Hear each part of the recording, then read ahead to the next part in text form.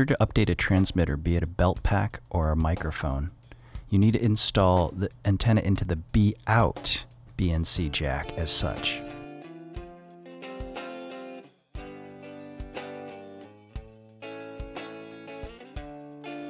With the transmitter powered on, press and hold the value soft button down while you power off.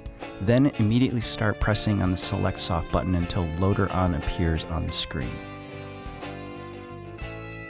In Monkey, select the Relay G90 body pack and follow the on-screen instructions which will walk you through the update process.